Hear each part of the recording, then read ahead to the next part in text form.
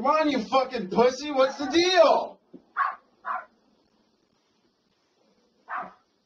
Where's the gun at, you fat faggot?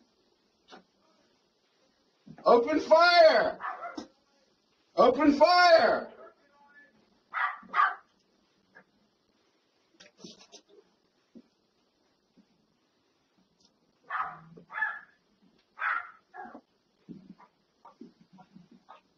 Hey,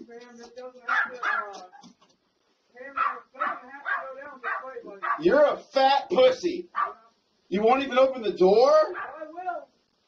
And then what? You're gonna shoot me? You're gonna kill me? I, guess so, buddy. Just give me a second to get my dog wrangled. You're a fucking pussy, dude. There's more footage than that. I can't show it to you because of YouTube's terms and services, but I have handed that footage over to the police, and now it's up to the police to decide what happens next. I don't know if I'm going to get in trouble for firing a warning shot. I don't know if Frank is going to get in trouble. I don't know how this is going to play out.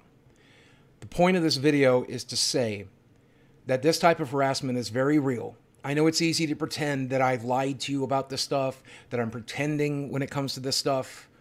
This is a very deranged person showing up at my house today with the intention of escalating things.